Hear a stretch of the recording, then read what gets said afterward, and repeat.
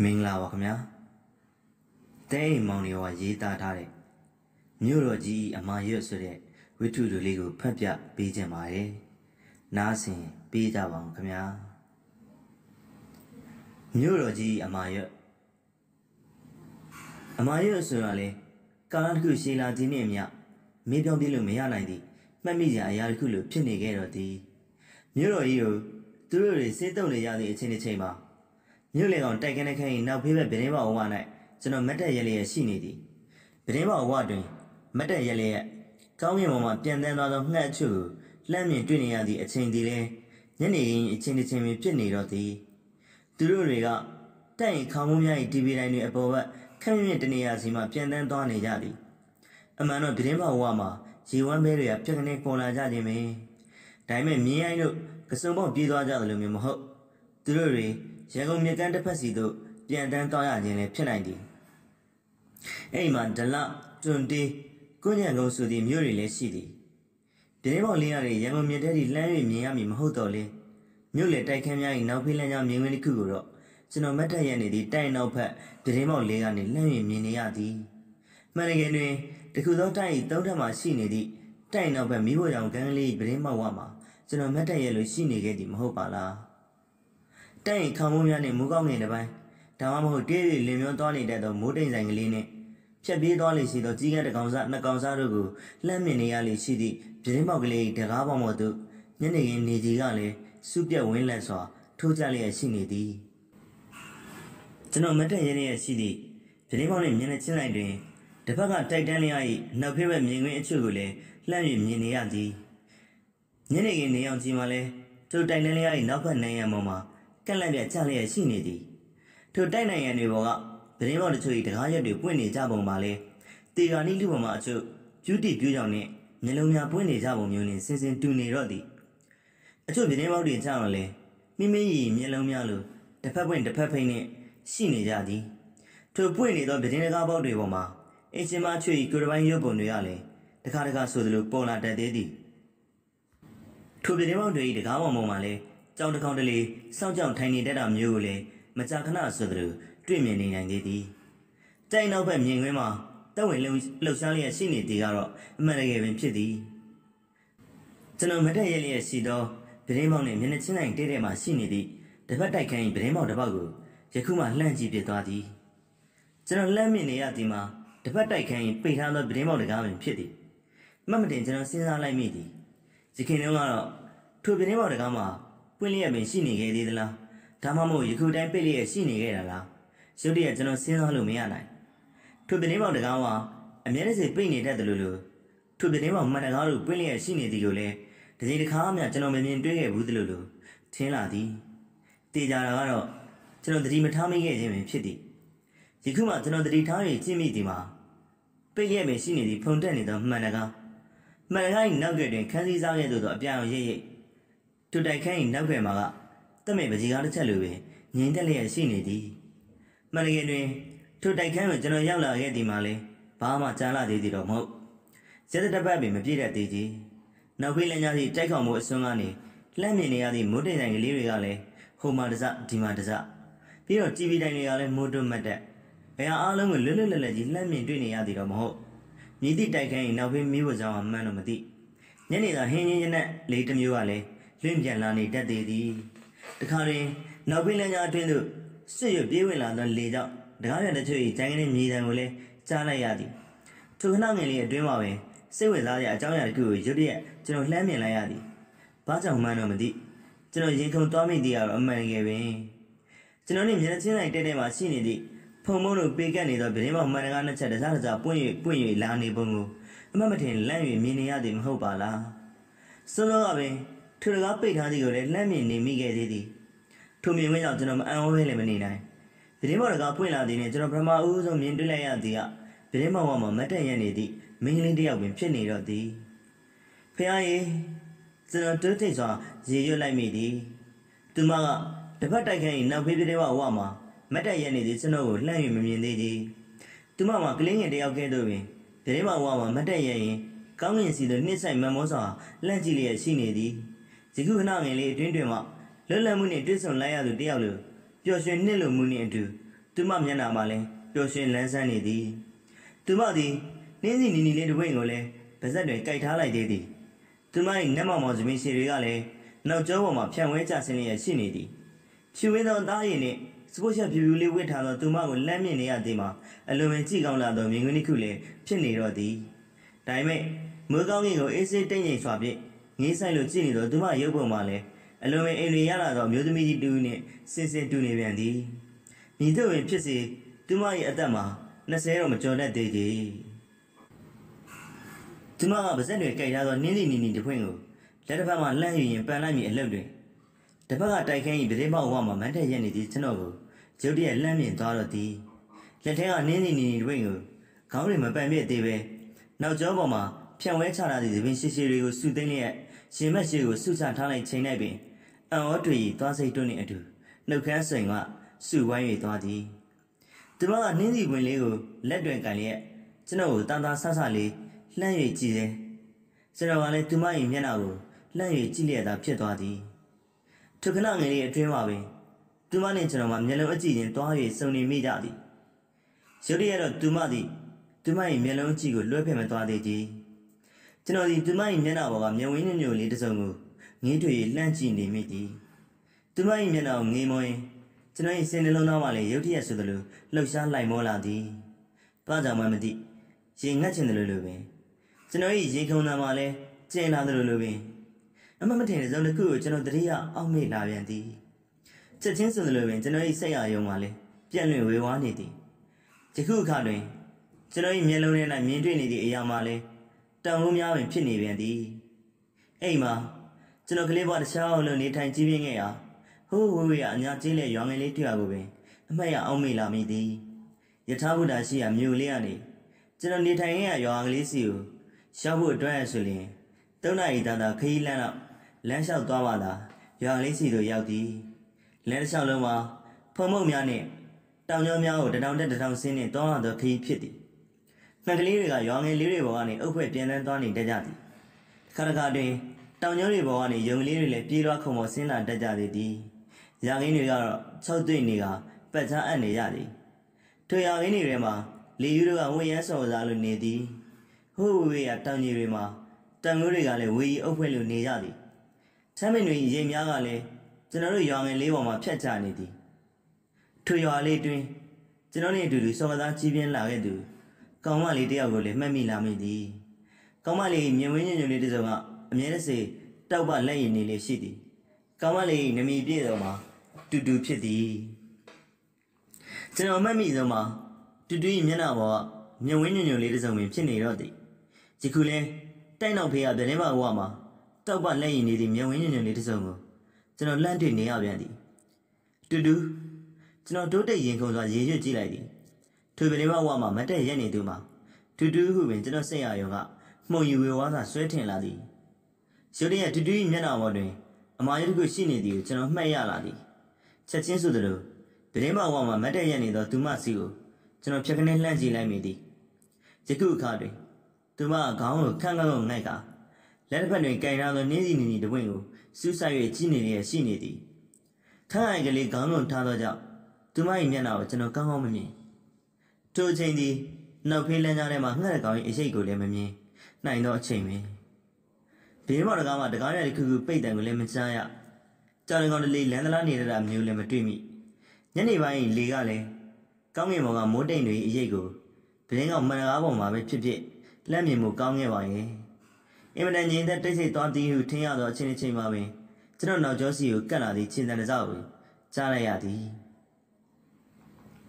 တမဏီတကားကလည်းပွင့်လို့ဗရင်မောင်မာကလည်းနတ်သမီးလေးများလားအံ့ဩကုန်နိုင်ပွားပဲလားဟေ့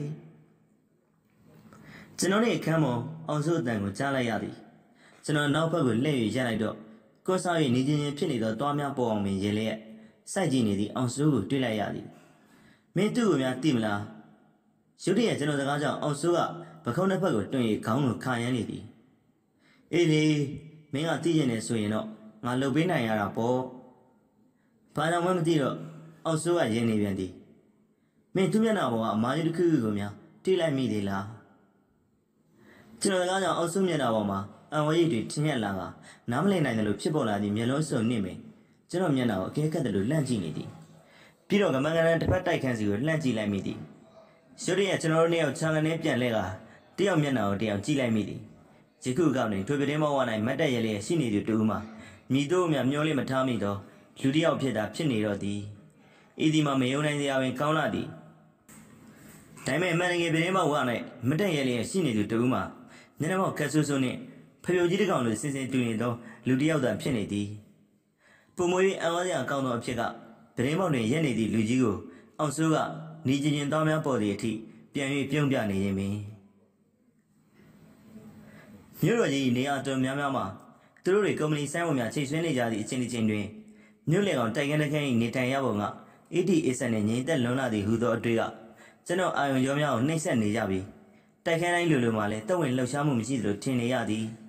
တိုက်ခန်းတိုင်းတကားတွေကလည်းပိတ်လျက်ရှိနေကြသည်ကျွန်တော်စိတ်ထဲတွင်တိုက်ခန်းထဲနဲ့တယောက်တည်းရှိနေသည့်အခါအချင်းချင်းခံထားရသောလူတစ်ယောက်တကယ်သို့ထင်အောင်လာမိသည်တခါတခါတွင်လှေကား၌နင်းလျှောက်သွားသည့်ဖက်နှက်တံများကိုကြားရပါရဲ့ဒါမှမဟုတ်တကားရွက်တွေဂျန်ကနေပိတ်သွားတဲ့ ပြီးလျင်တိတ်ဆိတ်ငြိမ်သက်ခြင်းကတိုက်ခန်းတွင်သို့ခြောက်လက်မှုရောက်လာတတ်သလိုရှိတယ်မြေတိုက်အောင်ပဲလက်ဖိတ်ဆိုင်ဆိုင်မှတချင်းဘုတ်ကတော့လင့်တက်လာတဲ့မြေပင်ပြီးတော့ကရိယာခင်းလန်းတွေပေါ်ကပြေးလွှားမောင်းနှင်သွားနေသည့်မော်တော်ကားတန်တွေခပ်ပြင်းပြင်းရှိတို့တိုက်ရှိဝေယနာမှာထွက်ရမိလိုက်ရင်တော့ကျွန်တော်ကဲ့သို့ပင်တိုက်ရှိဝေယနာတွေမှာငင်းငင်းရီရက်နေရသည့်လူချို့ကိုလည်းတွေ့နိုင်နေသည်အပေါ်ပိုင်းကနေတက်ရောက်ဘက်ကိုငုံကြည့်မိခဲ့ရင်တော့လူတွေကဖုဖုကွေးကွေးလေးတွေရဲ့ လမ်းထိပ်ကားမတိုင်ညနေပိုင်းမြင်ကွင်းမှာလဲတက်ဝင်လှုပ်ရှားနေမြင်ဒေယူကားကြီးတွေကညှို့တင်များစီတွားဖို့အတွက်တဲဟဲနဲ့ဖျဲချောင်နေတယ်လို့ပင်ထင်ရသည်အဲ့ဒီလိုမှဝေယန္တာမှာထွက်ရမနေခြင်းဘူးဆိုရင်အခန်းတွင်းကိုပြန်လှည့်ပြီးတော့တိုက်ခန်းတွင်းမှာလမ်းသလားနေလိုက်တိုက်ခန်းထဲမှာကအောင်စိုးနဲ့ဂရင်တလုံးမှလွယ်ရဘာမှရှိမနေနိုင်ကက်ပိုစတာမရှိကြောင်နှကောင်မရှိခရထိုင်တလုံးမရှိစောက်တုပ်မရှိ အောင်စိုးကလည်းအပြင်ထွက်လည်နေတာများ၍ယခုအခါတွင်အခန်းထဲမှာအောင်စိုးလည်းမရှိဘယ်လိုမှလည်းတွားကျင်လာခြင်းရှိမနေသည့်အတွက်ခန်းထဲမှာကျွန်တော်တယောက်တည်းခန်းထဲမှာလမ်းဆောင်နေခြင်းသည့်အခါဂရင်ပေါ်မှာတက်လက်နေလိုက်လို့တော့ရသည်ဂရင်ပေါ်မှာဆေးဘော်လိတ်ကိုတက်သားမေးခြင်းနဲ့မင်းညင်ဆိုင်ပွားရင်တစုံတစ်ခုသောတွေးကိုတော့ကျွန်တော်အတွက်တွေးလို့ရနိုင်နေသည်အမှန်တော့ကျွန်တော်ဘာလို့တည်တယ်လဲဆိုသည့်အတွင်းမျိုးကိုစဉ်းစားနေမိခြင်းနဲ့ဖြစ်သည်ဒါပေမဲ့ဘာတစ်ခုကိုမှတိတ်ခွဲတော့ကျွန်တော်စဉ်းစားဆုံးဖြတ်နိုင်ခြင်းမျိုးလည်းမရှိခဲ့သေး နောက်ဆုံးတွင်ဂရင်မောကရုတ်တရက်ခုံစင်းက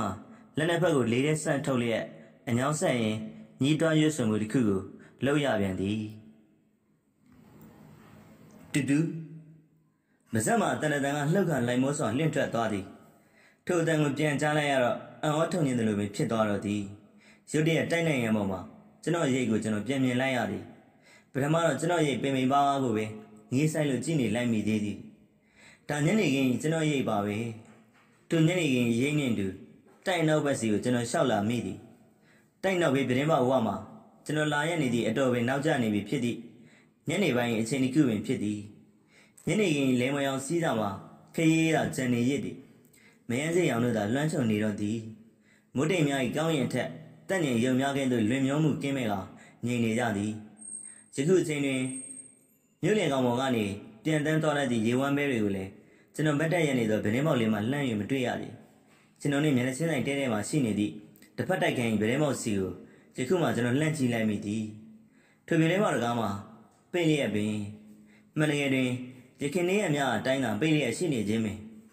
ကျွန်တော်ထံမှာပင်သက်အငွေ့ပြန်သွားကြသည်ထိုပြတင်းမောက်ဝမှာတူတူကိုကျွန်တော်တွေ့ရဘူးသည်မဟုတ်ပါလားဒါမှမဟုတ်အိမ်မက်များပင်လားဒါပေမဲ့အညာကြီးလက်ရောင်ငင်လေးတွေ့ရမှာ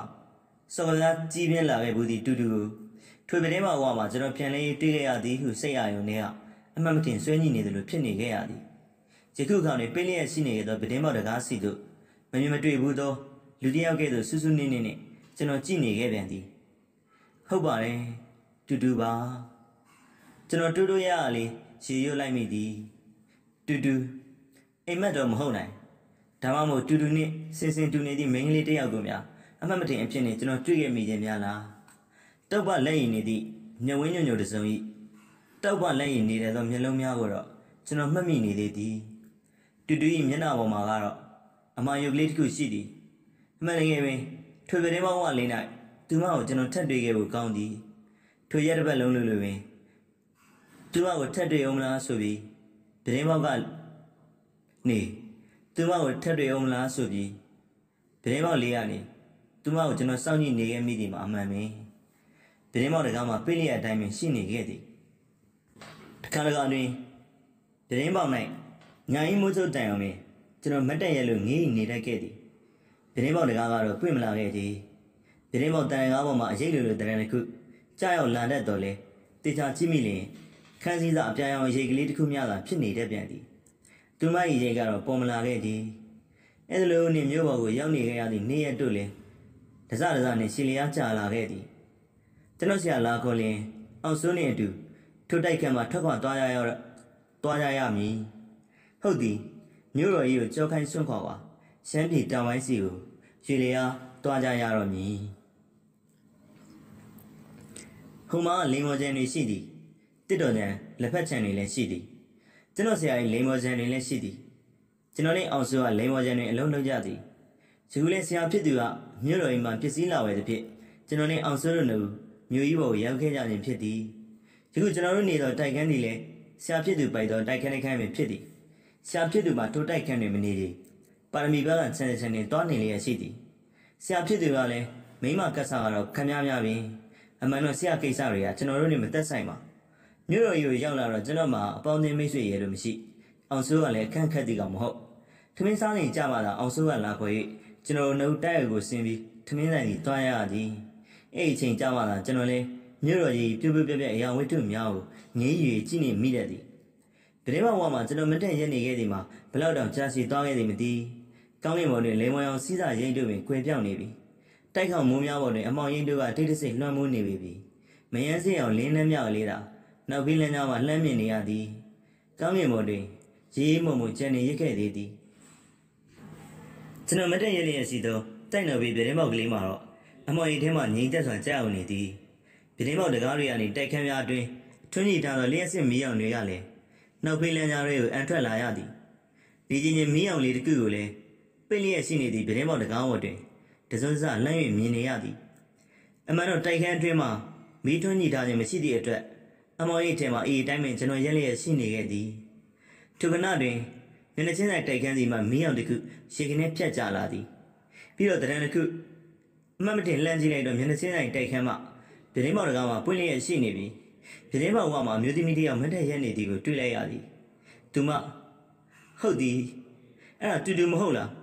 ဇမင်းရှိရှိတွေကိုနောက်ကျောပေါ်မှာဖြန့်ချတာတာတူတူပဲမဟုတ်ပါလားမှန်တကယ်သူမရဲ့မျက်နှာကိုကျွန်တော်ကောင်းကောင်းမြင်နေရသည်တော့မဟုတ်သူမမျက်နှာအမောင်ရည်ထဲတွင်ရောက်နေသည့်အတွက်ဖြစ်သည်ဆိုရရဲ့ ကျွန်တော်ဘာလို့တင်းဒီကိုလည်းမစင်စားမိကြီးကျွန်တော်ရင်နှလုံးမှာလည်းတိတိတတ်လာပြီးအခုံမြင်လျက်ရှိနေသည်ကျွန်တော်အတူတူလမ်းခေါ်လိုက်ရရင်ကောင်းမလားကျွန်တော်နားရဲဝဲအတန်အတန်ကိုကြားလိုက်ရတဲ့လို့ရှိသည်ထိုချိန်တွင်ပြတင်းပေါက်ဝမှာခြာကနေလှည့်ဟာတိုက်ခန်းတွင်းသို့ပြေးဝင်သွားသောသူမကိုကျွန်တော်ငေးကြောင်၍ကြည့်နေမိသည်ပြတင်းပေါက်ဝတွင်လည်းလူတယောက်ရဲ့ရေကပေါ်လာကပြတင်းပေါက်တကောင်အဖြတ်ကနေပြန်ပိတ်သွားတော့သည်အမော်ကြီးတို့နှင့်အတူတိတ်ဆိတ်ငြိမ်သက်ခြင်းမှလည်းရခင်အတိုင်းပင်ရှိနေပြန်သည် ယခုကပင်ပြတင်းပေါက်၏အမော်ကြီးထင်းမှာတော့ကျွန်တော်တယောက်ထီးထီးပင်နောက်ဖေးလမ်းကြောင်းမှာလမ်းမြင့်နေရသောကောင်းကင်ဘုံတွင်လည်းကျယ်လေးတစ်ပွင့်တလေကဖိတ်ပြက်လင်းလက်နေကြသည်ကျွန်တော်မတက်ရက်နေရင်မှကျွန်တော်စိတ်နှလုံးသားမှာလည်းစောက်တရားမရလှုပ်ရှားလာသည်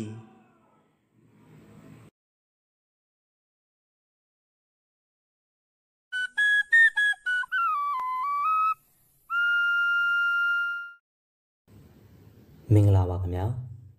တဲအိမ်မောင်နေပါရဲ့မြို့တော်ကြီးအမာရွတ်ဇက်သိမ်းပိုင်းကိုဖတ်ပြပေးကြပါမယ်နားဆင်ပေးကြပါဦးခင်ဗျာအောင်စိုးကဘယ်ကိုရောက်နေတယ်မသိတကယ်တော့အခန်းကိုပြန်လာဖို့ကောင်းပြီကျွန်တော်လည်းညစာအတွက်ထမင်းမစားရသေးချေတကားရဲ့တစ်ချက်ပိတ်တံကိုကြားလိုက်ရသည်အမှန်တော့ထိုနောက်ဘေးပြတင်းပေါက်ကလေးမှာငင်ငင်ကလေးရဲရင်တိုက်နောက်ဘေးပဲကြီးပြတင်းပေါက်ကဖွင့်လာကိုစောင့်ကြည့်နေခဲ့ရသည့်နေ့ရက်တို့လည်းတစတစများလာခဲ့ပြီဖြစ်သည် တူတူကဘယ်ရောက်နေသည်မသိကျွန်တော်တို့တွေရှမ်းပြည်ပြန်ကြဖို့နေ့ရက်တို့ကနီးကပ်လာခဲ့ပြီမဟုတ်လားကျွန်တော်တင်ငယ်ချင်းမလေးကိုပြန်တွေ့ခြင်းနေမိသေးရတော့အမှန်ပဲကောင်းကင်ပေါ်မှာကျဲဝင်းကလေးတွေကိုငေးယူကြည့်နေမိစဉ်မျက်လုံးအိမ်ထဲမှာကျွန်တော်ငယ်ငယ်ကနေတိုင်ကြီးပြင်းခဲ့ရာအညာကြီးလက်ရွာကလေးတရွာကိုလည်းတတိယနေမိပြန်သည်ဟိုးအရှိမဖွန်တူတူလင်းလန်းချောင်းလေးတစ်ခုဖွန်တူတူလင်းလန်းချောင်းလေးပေါ်မှာတော့အိမ်မက်နေသည့်လူတစ်ယောက်ကဲ့သို့တရွေ့ရွေ့ရှောင်းလန်းသွားနေသည့်ကောင်းမလေးတစ်ယောက် ကောင်းမလေးပြောင်းမွေးကဲ့သို့သောသမင်ရှင်ကြီးတွေကလည်းပြေးလွှားတိုက်ခတ်နေသည့်လေထဲမှာလွင့်ပြန်ဝေးရမ်းနေလျက်ထိုဖြူဖက်ဖြူရောနှင့်ပါမရှိကြီးကောင်းမလေးမှာလက်တစ်ဖက်ကတေကိုင်းကြောင်တစ်ခုကိုကန်လျက်လင်းလန်းချောင်းလေးတိုင်းရှောက်သွားနေသည်ကောင်းမလေးကဘယ်သူနဲ့မှလည်းစကားမပြောတူတယောက်ကစကားလမ်းပြောရင်လေခေါင်းငုံငုံကလက်ညှိုးလေးတစ်ချောင်းကိုတော်တက်ကလေးနဲ့ဖိကိုက်ယူနေတော့သည်ရွာထဲမှာကလေးများကလည်းကောင်းမလေးကိုမြင်ရင်ကြည်ကြံနောက်ပြန်ကျင်ကြသည် စကားမပြောချင်တဲ့ကောင်းမလေးကိုစကားပြောလာအောင်អော်ကြဟဲ့ကြသည်စပင်းရောက်နေကြည်တင်နဲ့ပြောင်းမှုမွေးနဲ့တူနေပုံကိုလည်းနောက်ပြောင်ကြသည်ကောင်းမလေးရဲ့ပိမင်းရှိရှိဖြစ်နေပုံကိုလည်းနောက်ပြောင်ကျင်ကြပြန်သည်ကောင်းမလေးမှာသူတူဦးတန်းသာတယောက်တီတီနေလေးရှိသည်ရောင်ကကလေးအုပ်စုကိုလည်းရှောင်ပြေးတော့နေသည်တကနေလှင်းလန်းကြောင်းပေါ်၌ရောင်ကကလေးအုပ်စုနဲ့ကောင်းမလေးမှသွားဆုံကြသည်ကောင်းမလေးကိုတွေ့သည်နဲ့ကလေးအုပ်စုကအိုဟစ်ပြီးနောက်ပြောင်ကြတော့သည် ထုံးစံတိုင်းကောင်းမလေးကတော့ဘာစကားမှမပြောပထမတော့ကောင်းမလေးကလက်ညှိုးကိုတရက်ကလေးနဲ့ဖိကိုက်ရင်သူတို့အုပ်စုကိုငေးဆိုင်၍ကြည့်နေသေးသည်သူတို့အုပ်စုကလှင်းလန်းကြောင်းတိုင်းရှေ့ကိုတိုးတိုးလာရင်ဟေ့ပြောင်းမွေးမွေးရှေ့ရှေ့တူတူသေးသေးလို့အော်ဟစ်ကြတော့သည်ကောင်မလေးကသူတို့ကိုနားမလည်နိုင်စွာငေးဆိုင်ကြည့်နေရမှရုတ်တရက်ချန်ကနေလှဲကလှင်းလန်းကြောင်းလေးအတိုင်းရွာပြင်ဘက်ကိုစွတ်ပြေးတော့သည်အဲ့ဒီတောင်ကြောင်းလေးတစ်ခုပေါ်မှာဆက်ပြေးရမှ ကောင်မလေးလိမ့်ကြခဲ့ဘူးသည်မဟုတ်လားလိမ့်ကြခဲ့ရသည့်အတွက်ကောင်မလေးမျက်နှာပေါ်မှာအမားရတစ်ခုကြံထင်နေရက်ခဲ့သည်ယခုနေတူတူနဲ့ကျွန်တော်ပြန်တွေ့ကြလေချိုမာရွယ်လေးအကြောင်းကိုလည်းစကားပြေပြန်ပြောမိကြအောင်မည်တူတူနဲ့ကျွန်တော်မှာတငယ်ချင်းများဖြစ်ကြသည်လဲလန်းချောင်းလေးပေါ်မှာတူတူတရွရွနဲ့ရှောက်လန်းသွားနေပုံကိုမြင်ရလျင်ဟေ့တူတူရေးလို့နောက်ဘက်ကနေအော်ဟစ်ရဲမှကျွန်တော်လည်းအပြေးကလေးလိုက်သွားတယ်မြေပင် တူတူကလှင်းလန်းပေါ်မှာရက်လျက်ကျွန်တော်ပြေးတော့တူတူကလေးစိုက်ကြည့်နေတတ်သည်စိတ်ပါနေသည့်အခါမျိုးဆိုရင်ကျွန်တော်ပြေးလာပုံကိုကြည့်ပြီးလက်ခုပ်လက်ဝါးတီးလို့ပျော်မြူးနေတတ်သေးသည်ညနေချင်းတိုင်းထိုင်ကြပြီဆိုရင်တော့တူတူကတောက်မလက်ရင်နေသောမျက်ဝန်းတစ်စုံနဲ့ကျွန်တော်ကိုကြည့်နေတတ်ပြန်သည်ထိုအချိန်တွင် အမာယူကလေးရှိသောတူတူ၏မျက်နှာမှာချွေးယူကလေးများတွဲသည့်ဆိုလက်နေလျက်မှညီမြန်းနေတော့သည် တူတူ၏အသက်ပြင်းပြင်းရှူရှိုက်တန်ကိုပင်ကြားနေရတတ်သည်ကျွန်တော်တို့နှစ်ယောက်ကရွာကလေး၏ပြင်ပမှာတောင်ကျတစ်ခုပေါ်သို့တွားတက်ကြသည်ဒါမှမဟုတ်တောထဲမှာရုံကလေးတွေကိုအသွာအရာသွားဆောင်ပြီးကြည့်နေတတ်သည်နောက်ဆုံးတွင်တူတူနှင့်ကျွန်တော်ရာခင်းတွေထဲမှာရှောက်သွားနေကြမည်တူတူကညနေခင်းနောက်ဆုံးချိန်နောက်ဘက်ရက်မှာတစားတစားနေလုံးကြီးဝင်ရောက်ပြောက်ွယ်သွားပုံကိုလည်းစိတ်ဝင်စားသည်အမှန်တော့တူတူသည်စိတ်ကွင်းရတဲ့သောကောင်မလေးတစ်ယောက်ပင်ဖြစ်သည် နေလုံးကြီးဝင်ရောက်ပြောက်ွယ်သွားပုံကိုကြည်ရင်ကပင်ငါတို့လည်းအသက်တရပူကြီးသွားတာပေါ့နော်လို့လေတူတူကပြောတတ်သည်ဒါမှမဟုတ်ငါတို့တွေအသက်ကြီးလာရင်ဘာဖြစ်ကြအောင်မလဲလို့လေစဉ်းစားလို့လုပ်ပြီးမေးတတ်သေးသည်ဟဲ့အသက်ကြီးလာမှတော့လူကြီးဖြစ်လာတာပေါ့ဟုကျွန်တော်ကပြောရသည်ညီတို့ပင်ဖြစ်စေတခါလေတစုံတစ်ခုကိုအာယုံဝင်စားတာနင်းနှစ်တွေ့နေသည့်အခါမျိုးလည်းရှိပါသေးသည်ရုတ်တရက်ပခုံးပေါ်ကို လက်လာတင်သည်ကိုသိ၍ပြက်ကနေလန့်ကြည့်လိုက်တော့ကျွန်တော်နေမှာအောင်ဆိုးလာရနေသည်ကိုတွေ့လိုက်ရသည်လာကွာတို့အောက်ဆင်းရရအောင်မင်းလည်းတမင်မစားရသေးဘူးမဟုတ်လားဘိုက်တော်မစားပါဘူးကွာဟုကျွန်တော်ကအတန်တိုးတိုးနဲ့စကားဆွလင်တော့အောင်ဆိုးကအမောင်ထဲတွင်ရက်နေရင်မှရဲနေသည်မင်းနဲ့ကွာအမောင်ထဲမှာရက်ရက်ပြီးစောင့်ကြည့်နေမယ့်အစားတိုက်ခန်းပေါ်တိုက်ကြည့်လိုက်ရင်ကိစ္စကရှင်းနေတဲ့ဥစ္စာပဲအမာယုကိုတွေ့ဖို့ကအရေးကြီးတာမဟုတ်လား မင်းသွားခြင်းငါလိုက်ပို့ပေးမှာပေါ့အောင်စိုးစကားကြောင့်ကျွန်တော်အံ့ဩတယ်လို့ဖြစ်သွားမိသေးသည်စိတ်လဲစိတ်ဝင်စားသွားသည်အမောင်ထဲမှာဖြစ်၍အောင်စိုးမျက်နှာကိုတော့တေကွဲစွာမမြင်နိုင်သေးဒီကောင်ကျွန်တော်ကိုများနောက်ပြောင်နေတာလားအမှန်တော့အညာကျေးလက်ရွာငယ်လေးတူအောင်မှာတူတူအကြောင်းကိုအတော်တန်ပြောပြထားရလေအောင်စိုးကတည်တင်းတဲ့လောက်တည်နေပြီလေဖြစ်နေသည်နေပေါင်းအောင်စိုးရမင်းကဘဲကိုလိုက်ပို့ပေးနိုင်မှာမို့လို့လေ ဘာလဲမင်းကမယုံဘူးလားအောင်စိုးကရန်ကုန်သားစစ်စစ်ကွရှီမယုံမင်းတို့အညာသားမဟုတ်တာလဲမင်းသိပါတယ်ကွာအေးလေလိုက်ပို့ပေးဖို့ကတော့ငါတာဝန်ထားပေါ့အရေးကြီးတာကတော့အောင်စိုးကစကားကိုစွန့်အောင်မပြောပဲရက်လိုက်ပြီးရေရွေ့နေသည်ကျွန်တော်ကညီးတွားလိုက်တယ်လို့လုံရင်မှရောရောင်ပြီးခေါင်းကိုလေးလေးညင်းညင်းနဲ့ခါရမ်းလိုက်မိသည်အမောင်ထဲမှာကျွန်တော်ခေါင်းခါလိုက်သည်ကိုအောင်စိုးကမြင်လား မမြင်လားကျွန်တော်မသိအောင်စိုးအတန်ကိုတော့ထက်၍ကြားရသည်ဟဲ့ကောင်ကြီးတိတ်လည်းညီးမနေနဲ့ကွာအရေးကြီးတာကငွေတော့နည်းနည်းပါဖို့လိုတာပေါ့ကွာမြို့တော်ကြီးအပေါ်ဘက်ရှိသူတို့တွေကုမ္ပဏီစိုင်းပုံများမှာနင်ယွန်မီးအောင်များလှည့်ပတ်ပြေးလောကလင်းလက်တောက်ပနေသည့်အချိန်တစ်ချိန်တွင်အောင်စိုးနှင့်ကျွန်တော်တို့နှစ်ယောက်ကန်ဖရိုက်စနစ်ဖြင့်စောက်လုပ်ထားသည့်တိုင်းမြင့်မြင့်ကြီးတစ်ခု၏လေကား၏အမောင်ရိပ်စီသို့ ရောက်ခဲ့ကြသည်အမှန်တော့မြို့လေကောင်၏လမ်းကျင်းလေးတစ်ခုအတွင်းသို့ကျွန်တော်တို့ရောက်လာခဲ့ကြခြင်းပင်ဖြစ်သည်မြင်းကြီးတဲ့တိုက်ခန်းများစီမှမီးအောင်တွေကကတ္တရလမ်းကျင်းကလေးပေါ်သို့ဖြတ်ကြလျက်ရှိသည်ထိုတိုက်ရောက်အခန်းတွေကလည်းများသောအားဖြင့်ရုပ်ရှင်ကုမ္ပဏီဗီဒီယိုဓာတ်ပုံလုပ်ငန်းနှင့်စာအုပ်လုပ်ငန်းအခန်းများဖြစ်ကြသည်လမ်းကျင်းကလေးအတွင်းမှာလမ်းမြင့်နေရသည့်ကောင်းကင်ဘုံတွင်ကျင်ကလေးတွေကလည်းတပွင့်နှစ်ပွင့်နဲနေမယ်မှုံရီစွာရှိနေကြသည်ထိုတိုက်အိမ်များအကြားမှာငွေလမင်းကိုတော့မမြင်ရသေး အောင်ဆွေး၏လေချွန်တန်ကိုရုတ်တရက်ကျွန်တော်ကြားလိုက်ရသည်ကျွန်တော်လှည့်ကြည့်လိုက်တော့သူကတိုက်ပေါ်တက်ဖို့အတွက်မျက်နှာ၏အမူအရာလှုပ်ပြနေသည်ကိုတွေ့လိုက်ရသည်ကျွန်တော်ကခေါင်းပေါ်မှာရှင်နေပြီဖြစ်သည့်စပင်ုံကြားထဲသို့လက်နှစ်ဖက်ကိုထိုးသွင်းရင်ကုတ်ပွားပြင်းလိုက်မိသည်ဖြစ်ပါမလားအောင်ဆွေးရဘာလို့မဖြစ်ရမှာလဲငါနဲ့အတိမဟုတ်ဘူးမင်းနဲ့အင်ရှင်တွေကရင်းနှီးလို့လားကွဟေ့ကောင်ဒီနားမှာကြာကြာရက်နေလို့တိတ်ကောင်းတာမဟုတ်ဘူး အောင်စိုးကပြောပြောဆူဆူလေကားအတိုင်းရှေ့ကနေတက်သွားသည်လေကားမှာမီးအောင်ရှိသည်မဟုတ်ကျွန်တော်ကသူ့နောက်ကနေစံတော်ဝါနဲ့ကတ်လိုက်ရသည်ထိုအချိန်တွင်ကျွန်တော်တို့နှစ်ယောက်၏ဖက်နှက်တန်ကိုသာကြားနေရသည်ပြီးတော့ပြီးတော့ကျွန်တော်၏ရင်ခုန်လှုပ်ရှားတာမှလည်း၆လက်မှုရောက်လာတဲ့ကဲ့သို့ကျင်းလောင်စွာနှင့်ပင်ပြန်ရကြားနေရသည်တကားပေါက်အချို့ကိုဖြတ်ကျော်ခဲ့ပြီးအောင်စိုးသည်ပိတ်ထားသောတကားပေါက်တစ်ခု၏အရှိမှရက်နေလိုက်သည်သူ့နည်းကိုကျွန်တော်ကတ်လိုက်မိသည့်အထိသူကကျွန်တော်ကိုကြည့်နေသည် ကျွန်တော်ကဘာလို့ရမှမသိသေးသေးသူကကျွန်တော်ဘာဖြစ်နေသည်ကိုကြိုတင်သိနေသည့်ပုံဖြစ်မင်းယောက်ျားမဟုတ်ဘူးလားဟုကြားနာရုံအတန်လောက်နဲ့စကားတူတူဆိုသည်ကျွန်တော်ကလည်းအမောင်ထဲတွင်ရက်နေလျက်မှရောရောင်ပြီးခေါင်းကိုခက်မြန်မြန်နဲ့ငိမ့်ပြလိုက်မိသည်ငါကရန်ကုန်သားกว่าဟုအတန်တိုးလျက်စွာနဲ့ကြွားလုံးထုတ်လိုက်သေးသည်ဒီမှာအမောင်ထဲတွင်လက်လန်းလျက်တကားအနည်းရှိလူခေါ်ဘဲကိုနှိပ်သည်ဒီကောင်အောင်စိုးအဲ့ဒီအခန်းကိုရောက်ဖို့နေလိမ့်မည်ထင်သည် ဒါတတိယတက်လားစတုဒ္ဒတက်လားတော့မသိသေးကလင်ကလင်ကလင်နဲ့လူခေါ်ဘဲနဲ့မြည်လာပြီးနောက်တကားမှလူကြီးပေါက်ငယ်လေးတစ်ပေါက်ရုတ်တရက်ပွင့်လာသည်အကိုကြီးကျွန်တော်ပါအခန်းတွင်ကဘာမှပြန်ပေါ်မလာခဲ့သေးအကိုကြီးကျွန်တော်ပါအောင်စုလေလူကြီးပေါက်ငယ်လေးကချက်ချင်းပြန်ပိတ်သွားသည်အောင်စိုးနဲ့ကျွန်တော်ကတကားဝအရှိတွင်တိတ်ဆိတ်စွာရက်နေကြသည် ကျွန်တော်တို့နှစ်ယောက်စလုံးပင်စကားပြောဖို့ကိုမိနေကြသည်သူဆောင်ဆိုင်နေခဲ့ရသောခဏငယ်လေးသည်လည်းနိုင်ပေါင်းများစွာကြာရှည်နေတဲ့ကဲ့သို့ကျွန်တော်စိတ်နှလုံးကိုလေးလံနေစေသည်ကျွန်တော်၏ခြေတွေလက်တွေကလည်းစီထန်အေးဆက်လာတယ်လို့ပင်ထင်ရသည်အောင်စုမင်းနဲ့ဒီခန့်ကလူတွေတည်နေကြတာလား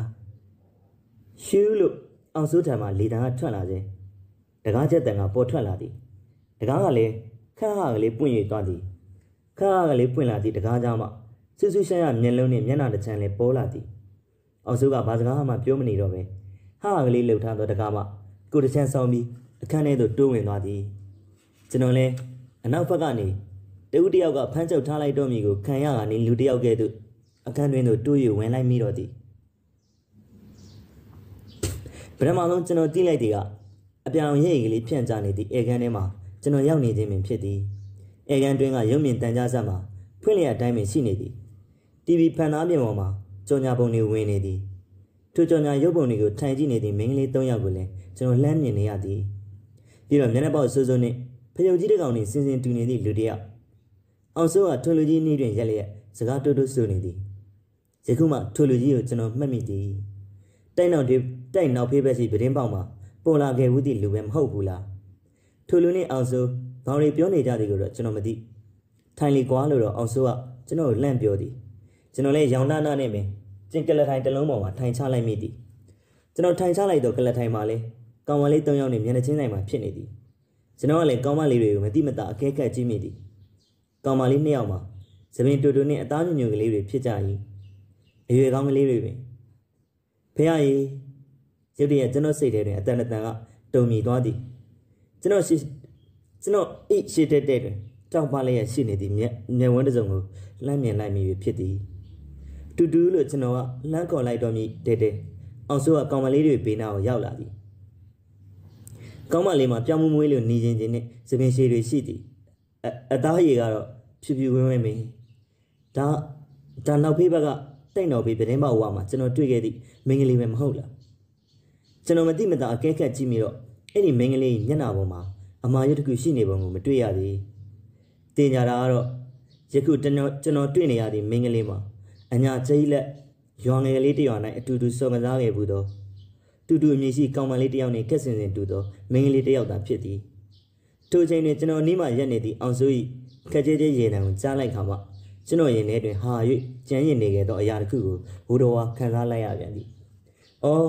အမှန်တကယ်ပင်လင်ကျွန်တော်ရင်ငတ်၍နေသည်။ မာလဲခေကောင်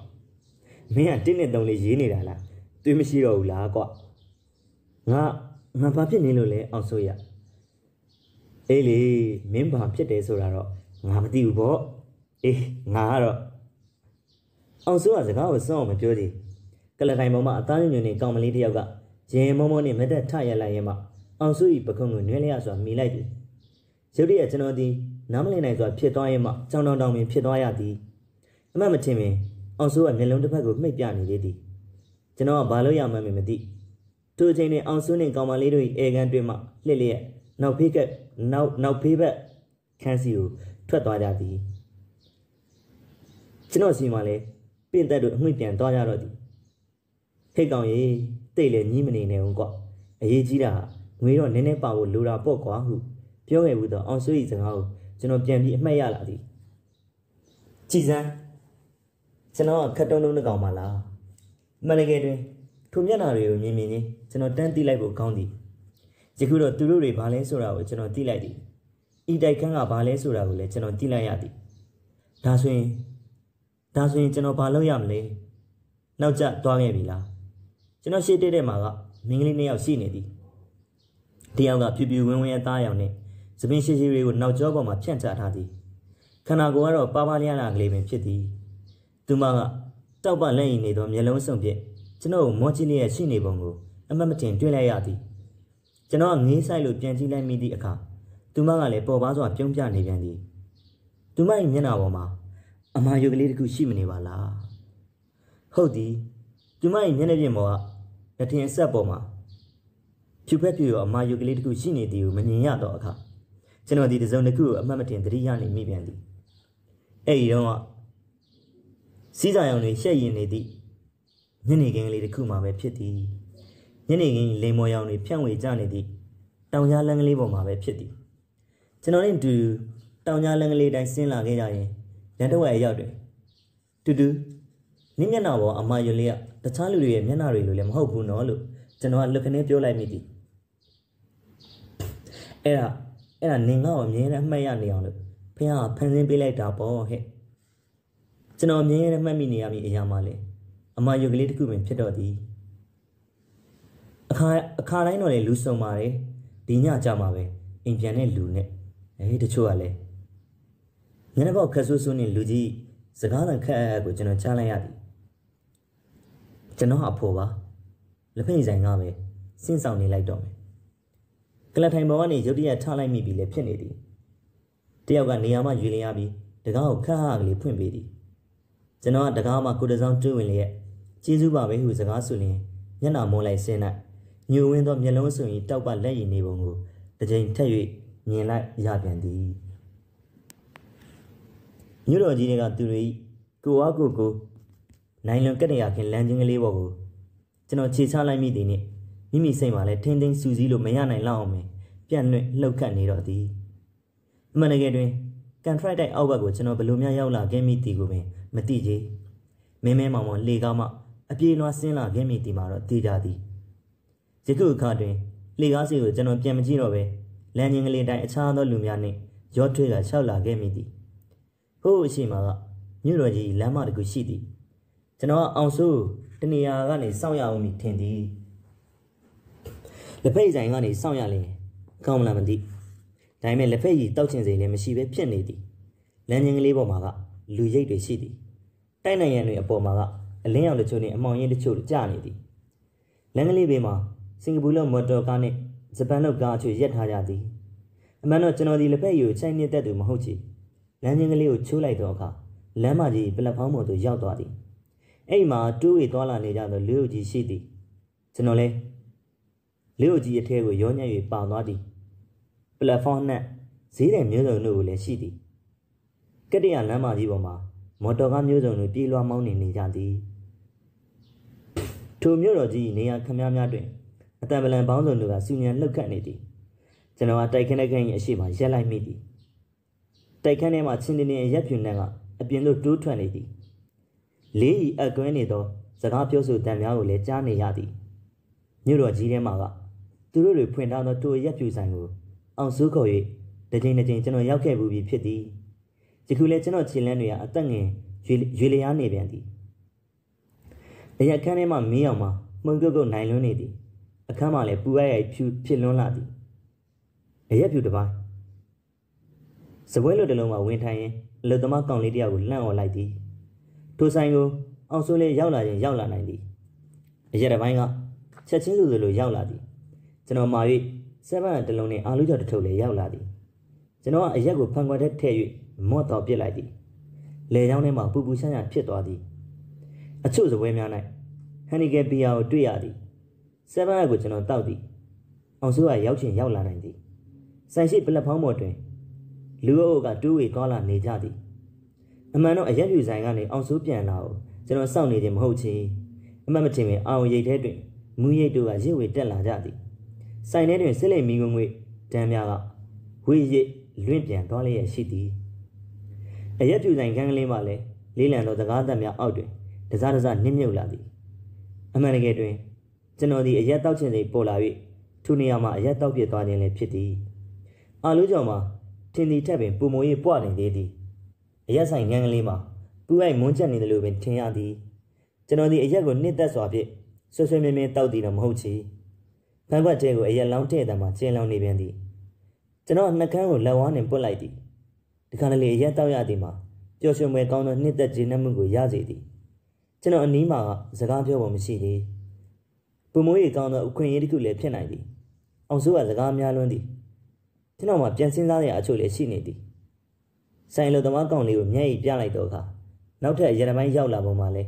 ထူးဆန်းလာသည့်မျက်လက်တစ်မျိုးနဲ့စင်စင်တူနေနိုင်သေးသည် ကျွန်တော်ဒီသဘောကျလာတယ်လို့ဖြစ်မိတော့လေရဲတော့မရင်မိသေးလူတယောက်အမိတစ်မျိုးဘာကြောင့်မှမသိအာပါတရစားတော့နေသည်ကျွန်တော်ကအရက်ကိုပါဇက်နဲ့ထည့်သည်ရှာရီကတပြစ်ပြစ်မြည်နေသည်စပင်ုံကြားလေးကိုလက်နှစ်ဖက်ထိုးသွင်းတုတ်ဖွာပြစ်လိုက်မိသည်အမေကကျွန်တော်ရက်တောက်တာအောင်မကြိုက်ချေဖန်ခွက်ထဲကိုအရက်ရည်တွေကျလာသည်လက်ချောင်းလေးများကိုစုံညစ်၍ကြည့်မိသည်ကျွန်တော်၏မျက်ဝန်းတစ်စုံက ရီဝေဝေဖြစ်နေကြတော်မူထင်သည်ရုတ်တရက်ရှွန်းစွလက်ပနေသည့်မျက်ဝန်းတစ်စုံကိုတတိယနေမိပြန်သည်ဆိုင်ရှိကတရလမ်းမကြီးပေါ်မှာဖြတ်သွားနေကြသည့်မော်တော်ကားများကိုအဆက်မပြတ်ပင်ကြားနေရသည်မှန်တကယ်တွင်ကျွန်တော်၏အာရုံရိတ်ထဲတွင်တထင်ဆက်နာအမာယုတ်ကလေးတစ်ခုထင်ရှိနေသည့်တူတူ၏မျက်နှာမှာပျောက်ဆုံး၍မသွားသေးသည်ပြီးတော့အညာကျေးလက်မှရွာငယ်ကလေးတစ်ယောက်ကိုပြန်လဲလို့မြင်အောင်လာတတ်သေးသည်လမ်းမတွေပေါ်မှာထွန်းညှိထားရသော မာကျူရီမီးအောင်ပြရဲရိတ်ကလေးမှလည်းအရက်ပြူဆိုင်ကင်း၏အပေါက်ဝါနှင့်အနီးဆုံးတစ်ဘက်တွင်ထိုင်နေသည့်ကျွန်တော်ကိုခန္ဓာပေါ်သို့တဝက်တစ်ပတ်ဖြတ်ကြလျက်ရှိသည်အပူဝိုးကလေးရောထွေးပါလာသည့်လေကလည်းအရက်ပြူဆိုင်ကင်းကလေးအတွင်သို့တွန်းထိုးပြေးဝင်လာတတ်သေးသည်စပွဲပေါ်မှာအရက်ရည်တွေကုန်နေပြီဖြစ်သည့်တပိုင်းပလင်းကလည်းဘယ်အချိန်ကအတုံလုံးလဲကျနေသည်ကလေးကိုကျွန်တော်မသိသေးကျွန်တော်စေးဝလေးကိုတစ်သားမိတဲ့ကလေးနဲ့မီးညစ်သည်ပြပြမမဲမီးကုန်းငွေတို့ ဝေးရစ်လွင့်ပါသွားနေပုံကိုအတိပ္ပယ်မဲ့စွာကျွန်တော်ငေးရီလို့ကြည်နေမိရဲ့သည်ဒီခုဆိုရင်အညာကြီးလက်ကရောင်ငယ်ကလေးမှာကြံ့ရစ်နေခဲ့သောအမေသည်အသက်ပင်တော်တော်ကလေးကြီးနေပြီဟုတ်သည်အမေတန်မှာ60ကျော်လည်းရှိနေသည်ကျွန်တော်ရေလုံငှက်လာပြန်သည်ဒါပေမဲ့အရက်ကိုပဲကျွန်တော်ထတ်တောက်သည်ပြီးတော့ဇပွဲဝင်ကိုလက်ညှိုးနဲ့အตาရခောက်နေမိသည်ကျွန်တော်မှအဖေမရှိတော့သည်မှာလဲ ကာလာတစ်ခုအထိပင်ခြံခဲ့ပြီးလေတက်လိုက်သည့်အခါတိုင်းမြင်းနီမုံတို့ဝေးကလွင့်ပြန်နေတတ်သောရောင်ကလေးတရား၏နေပွေရအောက်ကတုတ်တန်မြင်းဝင်းကလေးတစ်ခုကိုလည်းမှတ်မိနေသေးသည်ရောင်ကလေးတွေကအမေကြီးအိမ်ဝင်းကလေးတစ်ခုပြီးတော့ဇီးပင်ရိတ်များဟိုးဝေးဝေးမှာလမ်းမြင်နေရသည့်တောင်ကျောများလင်းလန်းကြောင်ကလေးထန်တော်ရိုးသားပြုစဉ်လာသည့်နှမ်းတောင်သူတွေတကြိမ်တွင်မယုံကြည်နိုင်လောက်အောင်မိုးခေါင်ခဲ့ဘူးသည် အညာကျေးလက်ကရွာငယ်ကလေးတရွာဖះရီလင်းမြန်စွာပင်ကျွန်တော်မူးလာခဲ့သည်အတင်ထားသမားဒါရီယာဖြူဖြစ်စင်နေပါကွာဟုပြောခဲ့ဘူးသည်အဖေကြီးစကားတခွန်းမဟုတ်ဘူးမဟုတ်ဘူးမဖြစ်နိုင်ဘူးမဖြစ်နိုင်ဘူးထိုဖြူဖြစ်စင်များမှလည်းအချိန်ကာလကြာလာသည်နှင့်အမျှရိုးလာခဲ့ရသည်အမေအိမ်ဝင်းတွင်ကဇီးပင်ရိပ်တစ်ခုကိုလည်းကျွန်တော်သတိရနေမိသည် ထိုဇီးပင်မှာလည်းကုန်းဆောင်လေးလိုနေရာတွင်ရှိသည်ကျွန်တော်နဲ့တူတူကကုန်းဆောင်လေးတွင်စော်ကစားလေးရှိကြသည်အမေကကျွန်တော်တို့စော်ကစားနေသည့်နေရာကိုရောက်လာတတ်ပြီးကျင်းတတ်သောမျက်လုံးများဖြင့်ကြည့်နေတတ်သည်ထိုအချိန်တွင်ဟိုးဝေဝေရတောင်ကျိုးလေးစီကိုတောင်ကိုများကနေဤဆင်းလာကြတာအုံပိုင်းမုံရီနေတတ်သေးသည်တကယ်တော့ရောင်ရည်လေးကတောင်ကျိုးတွေ၏အလယ်မှာခိုဝှ၍နေသည်အဖေကတောထဲသွားပြီးထင်းခုတ်သည့်ကခုတ်ရသည်ဒါမှမဟုတ်အဖေနှင့်ကျွန်တော်က တောင်ဘက်ရွာနှင့်မြောက်ဘက်ရွာများသို့နွားလေးတစ်စီးနှင့်ဈေးရောက်သွားရသည်နွားလေးတစ်စီးပေါ်မှာထက်လျက်တောင်များကိုတင်ကတောင်ဘက်ကရွာတန်းရှိကလေးစီသို့ဈေးရောက်သွားရသောမြင်ကွင်းတစ်ခုကိုတော့ကျွန်တော်မမေ့နိုင်သေးကြီးအညာကြီးနေအောင်ပါလဲတမဏီပြားကြီးတစ်ခုလိုကြာရောက်နေကပကြားလေခွင်းများအတွင်းမှာတန်ရရိတ်တို့ကအဝေးဝေးထနေတော့သည်ဖုံမုံတို့ထနေသောလဲလန်းကြောင်တစ်လျှောက်တွင်စီမဲ့နေသည့်လဲဘင်းစီမှာတအီညီးတွားတန်သည်လေ ကျွန်တော်အဖို့ပြင်းရင်ငိုင်မီးပေါ်ရာကောင်းလွန်းနေသည်ထိုရွာနှန်းရှင်ကလေးတွင်အံ့ဩစရာကောင်းလောက်အောင်ပင်ကာလဝမ်းရောဂါကြောက်အောင်နေပုံကိုလေကျွန်တော်နောက်ကျမှကျွန်တော်နဲ့အဖေတို့သိလိုက်ရသည်တံပလန်များကုဆက်ပြန့်နှံ့သွားနေသလားမိဝငွေများတရင်မောင်များချက်တော့များလမ်းများအလင်းများမဲမောင်ချင်းများအရေးများအနှံ့တတ်များကျွန်တော်ကြာကြာနေလို့မရတော့ အရက်ရှင်ကြောင်များလားကိုကနာတစ်ခုလုံးမှာတုံရင်ချောက်ချားလာတယ်လို့လို့ရီဝေဝေကျွန်တော်မျက်လုံးအထင်မှာအရေးတံတွေကတက်ဝင်လှုပ်ရှားနေတယ်လို့ပေါ်လာကြသည်တီးကနိုင်ကမရှိသည့်လူတစ်ယောက်လိုပင်နေရာကနေရုတ်တရက်ကျွန်တော်ထခုန်လိုက်သည်အရာတိုင်းကအသင့်ဖြစ်မနေရဲ့ရိုင်သွားသည့်ကိုယ်ကိုပြန်မက်လိုက်ရ၏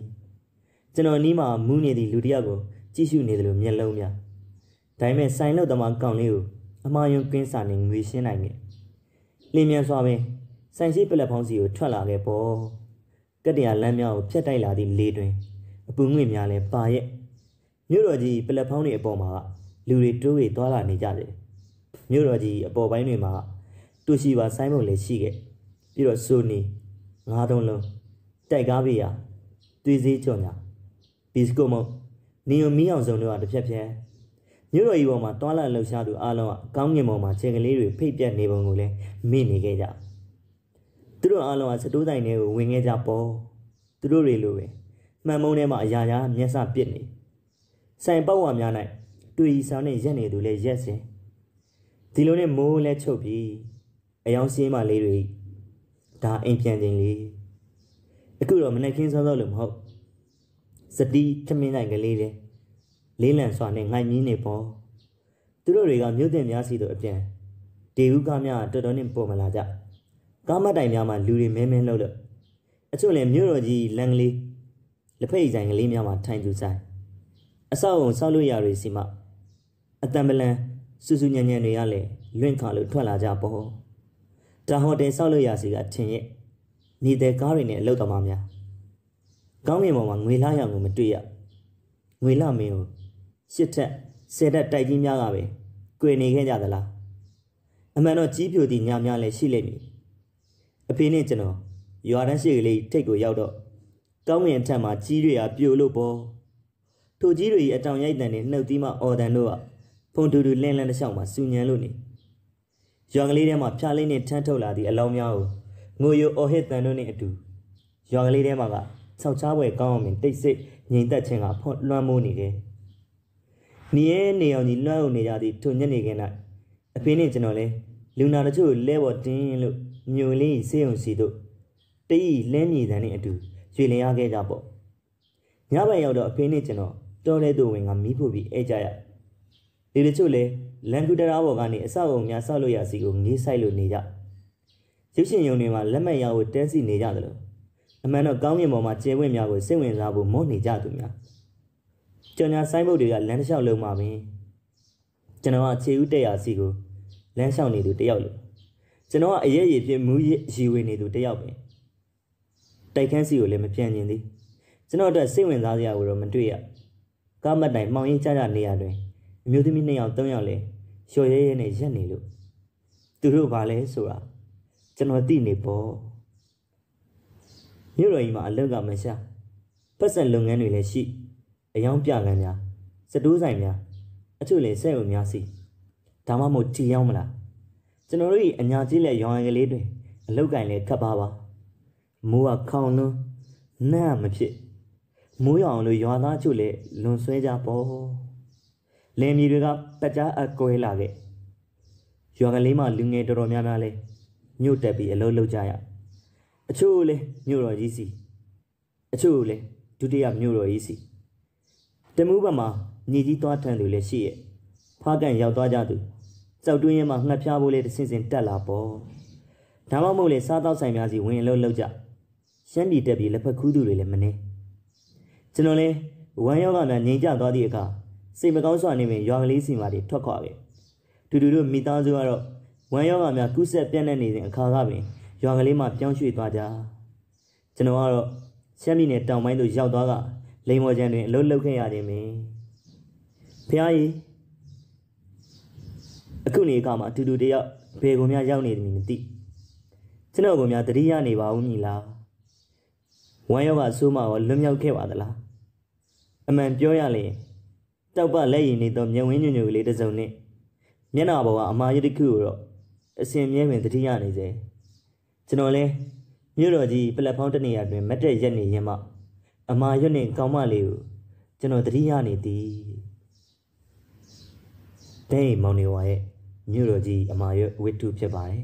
ဟန်တစ်မဂ္ဂဇင်းဇူလိုင်လ1995ခုနှစ်မှာဖော်ပြခဲ့တဲ့ဝတ္ထုတို့ဖြစ်ပါတယ်ကျေးဇူးတင်ပါတယ်ခင်ဗျာ